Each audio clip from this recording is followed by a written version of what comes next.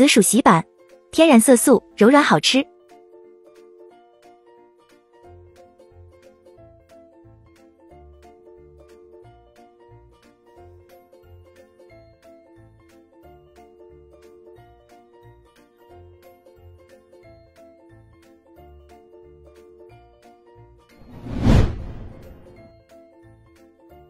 准备材料：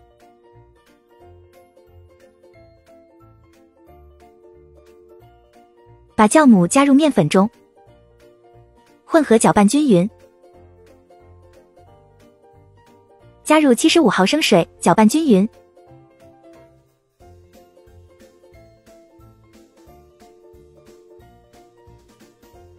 盖着待发一小时。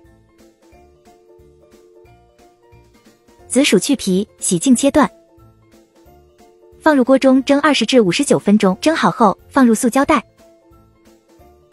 把香蕉叶洗净，吸干水分，剪成圆形，涂上一层油待用。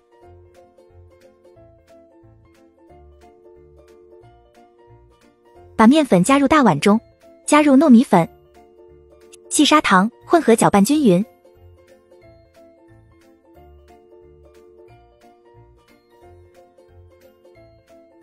加入打碎好的紫薯，加入清水，混合搅拌均匀。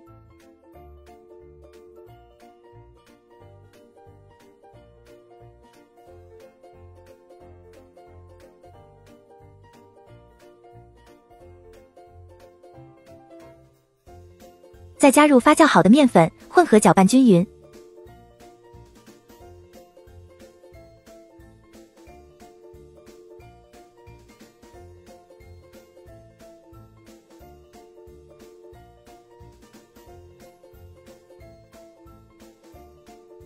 混合成絮状，用手揉搓成面团即可。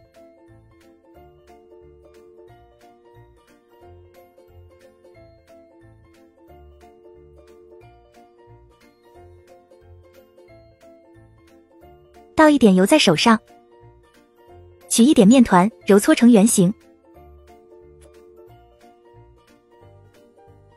放在香蕉叶上压平。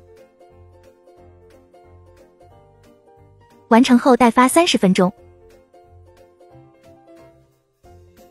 蒸锅水煮沸后，以大火蒸十五分钟即可。蒸好后，用剪刀修剪香蕉叶即可。紫薯洗板，天然色素，柔软好吃。